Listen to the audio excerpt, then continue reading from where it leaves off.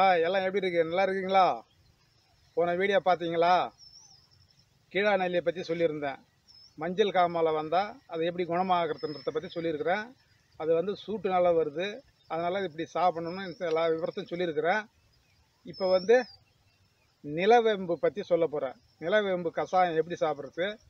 அது யார் சாப்பிட்ணும்ன்றதெல்லாம் இப்போ சொல்ல போகிறேன் அந்த தழையெல்லாம் இப்போ நேரடியாக உங்களுக்கு பறித்து காமிக்க போகிறேன் அது கூட வந்து பப்பாளி இலையும் சேர்த்து காய்ச்சி குடிக்கணும். இன்றைக்கி பப்பாளி இலை பறிச்சுன்னு வரல.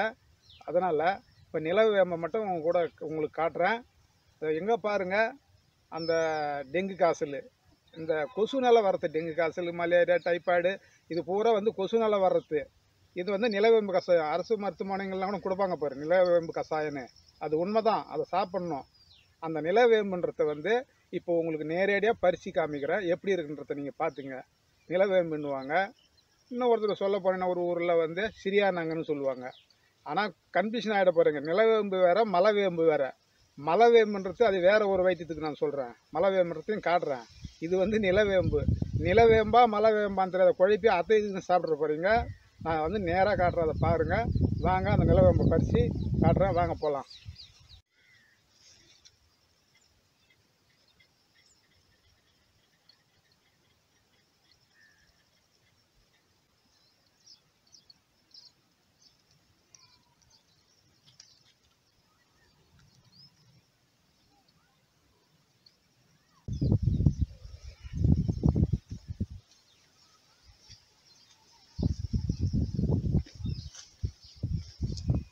இந்த செடி இது இருக்குது பாருங்கள் நிலவேம்பு செடி. இப்போ அதை பாருங்கள் கிட்ட நாங்கள் காட்டுறோம் பாருங்கள் ம் இதுதான் நிலவேம்பு செடி. இதை பாருங்கள் இதை பிடுங்கக்கூடாது.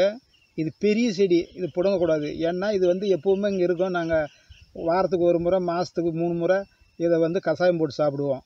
இது அவ்வளோ மருத்துவமான மருத்துவம் வாய்ந்தது இது. அதனால் இதை பிடுங்கலை. வேறு ஒரு சின்ன செடி ஒன்றா உங்களுக்கு பிடுங்கி அதை நான் காட்டுறேன் வீடியோவில். இதுதான் நிலவேம்பு இந்த நிலவேம்பு செடி இருக்கிற இடத்துல பாம்பு எந்த பாம்புமே வராது. இந்த நிலவேம்பு இருக்கிற இடத்துல எந்த பாம்புமே வராது. இது பாம்புக்கு முத எதிரி தான். இதுக்கு இவங்க பாம்புக்கு முத எதிரியே தான். இது இருக்கிற இடத்துல பாம்பு வராது.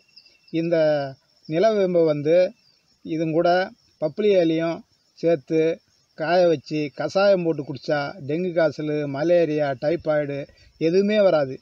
இதை தான் வந்து அரசு மருத்துவமனைகளில் கொடுப்பாங்க இப்போ நிலவேம்பு கஷாயம்னு அதுதான் இது. இது நேராக பாருங்கள் இதுதான் நிலவேம்பு. இது வந்து தரையோடு இருக்கும் செடி. இதுக்கு பேர் நிலவேம்பு. இதை மலை வேம்புன்னு நினச்சி போறீங்க மலை வேம்புன்றது வந்து மரமாக இருக்கும். அதை காட்டுறோம் மறுபடியும் வேறு ஒரு வீடியோவில் உங்களுக்கு. இதுதான் நிலவேம்பு.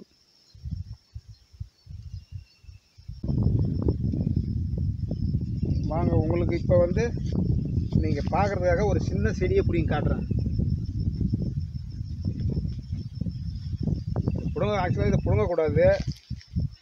உங்களுக்காக இதை பிடுங்கி காட்டுறேன் செடி எப்படி இருக்குதுன்றத.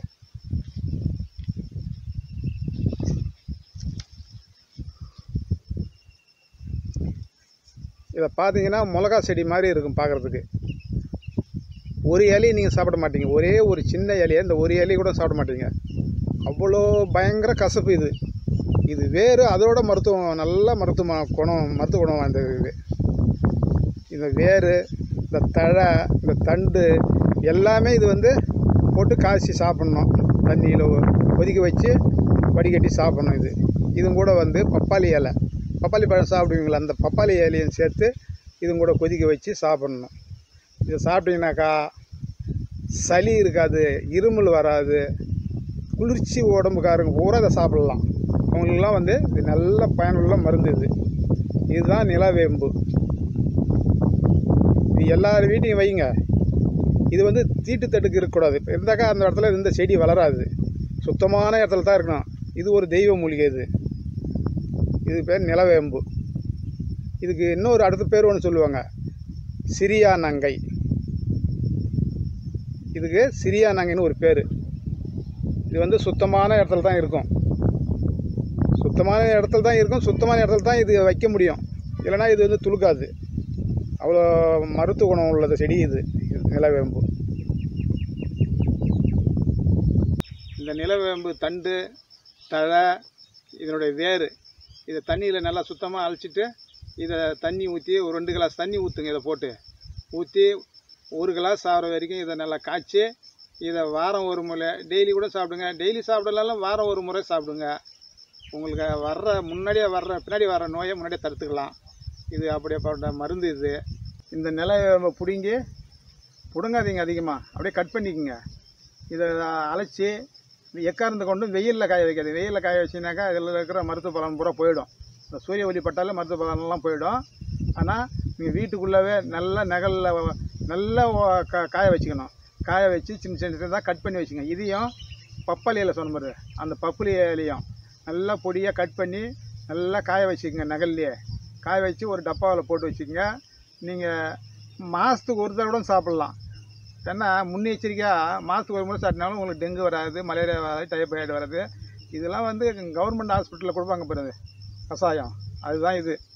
நிலவேம்பு கஷாயம் சொல்லுவாங்களா அதுதான் இந்த நிலவேம்புன்றது. இதை வந்து சளி தொல்லை அதெல்லாம் இருக்காது இது சாப்பிட்டீங்கன்னாக்கா. ரொம்ப குளிர்ச்சியாக இருந்து கக்கிங்கன்னு கிடப்பாங்க இரும்புவாங்க சளி அதிகமாக இருக்குது. அவங்கெல்லாம் வந்து இதை சாப்பிட்டாங்கனாக்கா அவங்களுக்குலாம் வந்து நல்லா கிளியராக ஆகிடும் அவ்வளோ மருத்துவ குணம் உள்ள இந்த மருந்து செடி இது. இதை வந்து மறக்காதீங்க. இதுதான் நிலவேம்பு. இது எல்லோரும் சாப்பிடுங்க. தெரியாதவங்களுக்கு சொல்லுங்கள் இதை சாப்பிட்டு ஆரோக்கியமாக இருங்க. அடுத்த வீடியோவில் வந்து நான் வேறு ஒரு மருத்துவத்தை பற்றி சொல்கிறேன் நன்றி. வணக்கம்.